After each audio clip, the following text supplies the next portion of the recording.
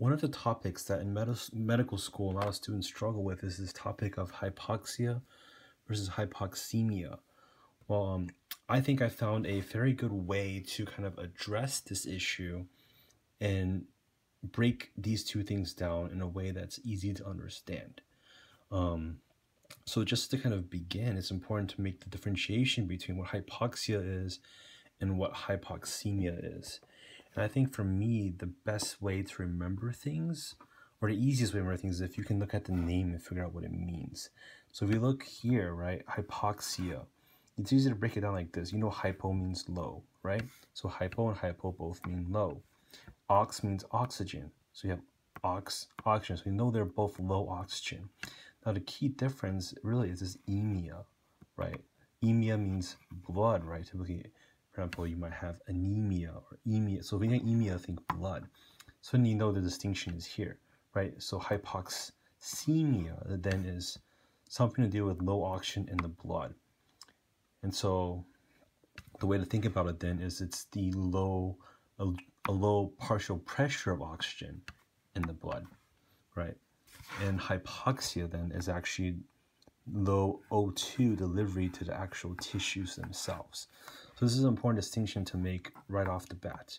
And I also wanted to highlight something that's really the physiology where, um, so hypoxemia, the low P, little a, A for arterial O2, is generally around 60, um, lower than 60 milligrams of mercury. And the reason why is physiology where, so you have, if you look at this graph between your partial pressure oxygen within your arteries arterial partial pressure of oxygen and also hemoglobin saturation, you will see that with an increase in partial pressure, you have increase in hemoglobin saturation. But the body is able to compensate in a way that you can have a pretty large drop in partial pressure, but still maintain close to 100% saturation. However, once partial pressure falls below 60, you have a much sharper drop. So this is why um, talking about hypoxemia is typically low partial pressures below 60 milligrams of mercury. All right.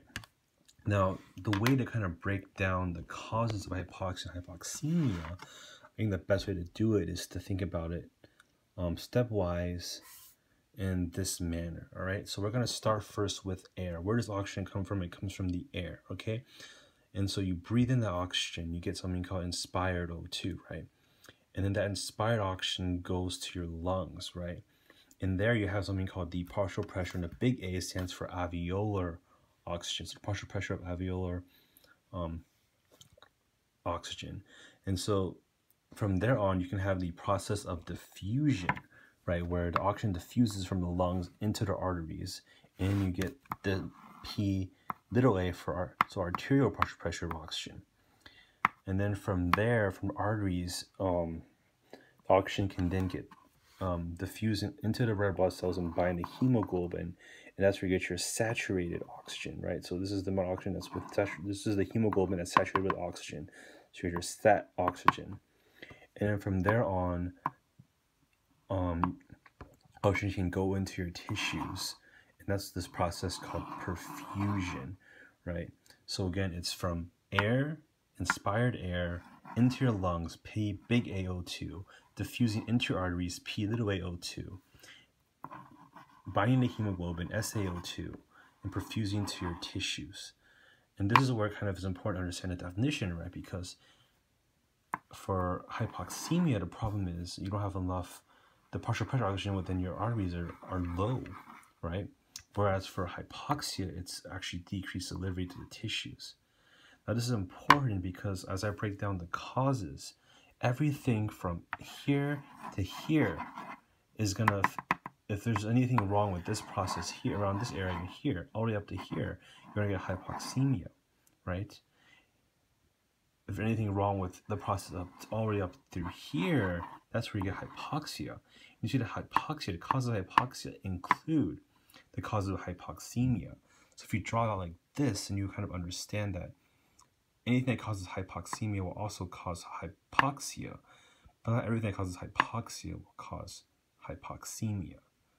Okay, so once you got this, now we can kind of go through to each individual causes.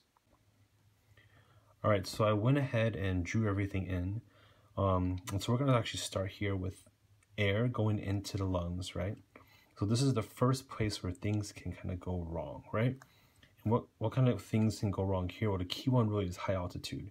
It's not really something going wrong, but it's more of because you're at high altitude, the barometric pressure drops, and because the, bar the pressure drops, you actually have a decreased partial pressure of oxygen in the atmosphere itself. So therefore, with the air you breathe in, it's going to be at a decreased PO2, right? And so that's going to affect everything afterwards because you have less, if you want this way, less oxygen going into your lungs, you're going to have less getting into your blood and less going into your tissue. So that's kind of the first thing. After that, if you go on to the next step here, right, it's in the lungs, right? So what affects the air going into the lungs? What else can affect that? Well, what if you're hypoventilating, right? What if you're not, you're breathing at a slower rate, right? Well, then because your ventilation rate decreases, you have less air going in, right? So less air going into your lungs. And again, less air going in means you're going to have a decreased P big AO2, which will then result in a decrease in P small AO2, and then you'll have, again, hypox hypoxemia and hypoxia, right? So remember, everything from this part all the way up to here is going to cause hypoxemia as well as hypoxia. All right, so now we've discussed up to the lungs, what can affect the oxygen going from the lungs into the arteries. And so remember, we talked about this process itself is kind of diffusion, right? The gases diffuse across and equilibrates. Well, what affects that? Well, what if you had an increased diffusion distance, right?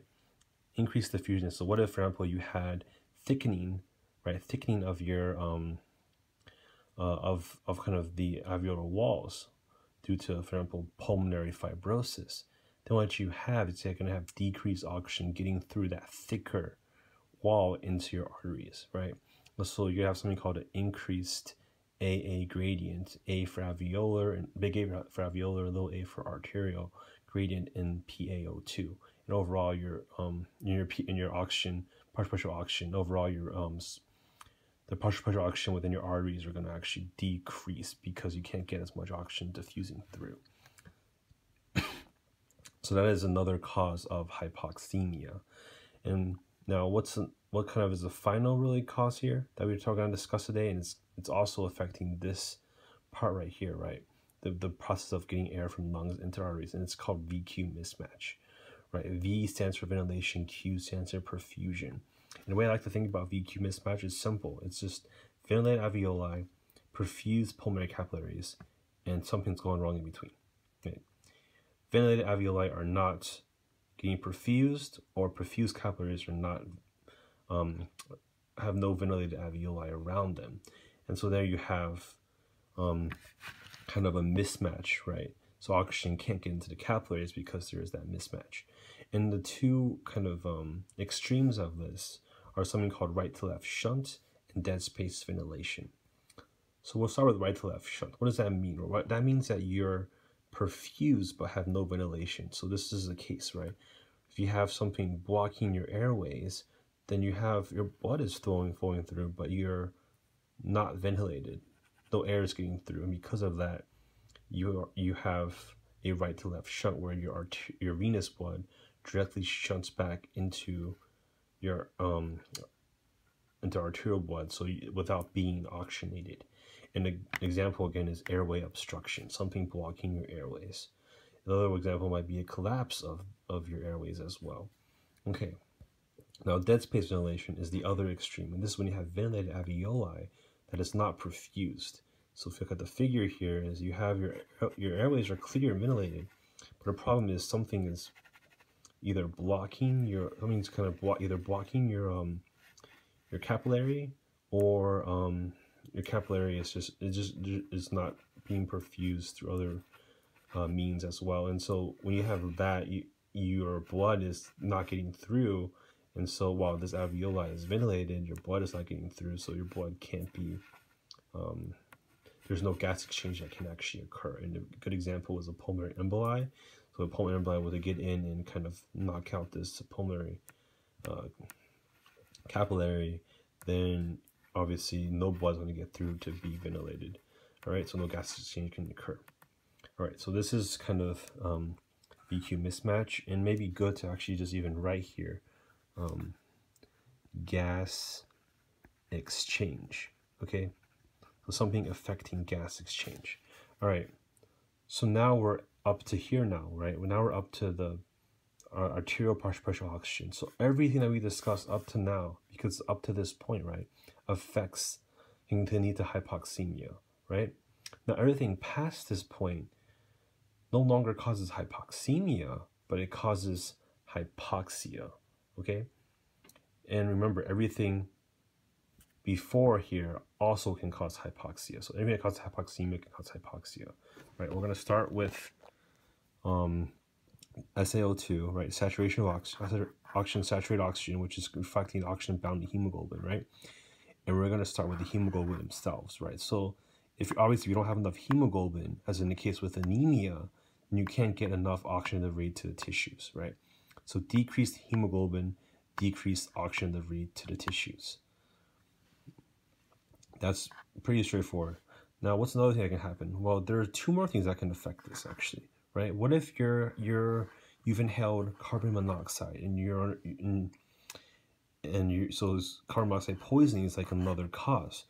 And the key about carbon monoxide is that it has a hundred times greater affinity for hemoglobin than oxygen, right? So it binds the hemoglobin more readily and it stays bound. So because of that, you decrease the oxygen carrying capacity of hemoglobin. So hemoglobin can't carry as much oxygen. Because of that, you're going to have less oxygen delivery to your tissues, causing hypoxia. All right. Another thing along the same lines is something called meth, methemoglobinemia. It's a tough, it's a long term to remember, but basically what this is, is you have increased oxidative stress in your body, right? And that's going to lead to oxidation of um, Fe2 to Fe3. And the key here is in this form, right, hemoglobin doesn't bind oxygen. Okay, so when when the when the when the when iron is in Fe3 plus form, it can't bind oxygen. So one way to remember this, I like I took this from Pathoma, is Fe2 binds O2, but I added something where Fe3 tissues can't breathe. And so remember this, then you're never going to forget that it's Fe2 one that actually binds oxygen, and when it's oxidized Fe3, it doesn't bind. So when do you really kind of see this? Again, when you have increased oxidative stress, or um, in neonates where you don't quite have the machinery to kind of convert Fe3 back to Fe2 because your day-to-day -day life, you're going to have stress, right? So you're going to have Fe3, but you have the machinery to convert it back. In infants and neonates, that machinery is not fully developed, so you might actually um, see this in infants as well, or neonates as well. All right, so now that we've talked about this step, it's time to go on to the next part, which is perfusion. So what is perfusion? It's the process of getting kind of this oxygen into their tissues, right? And so the perfusion, the key thing here is ischemia.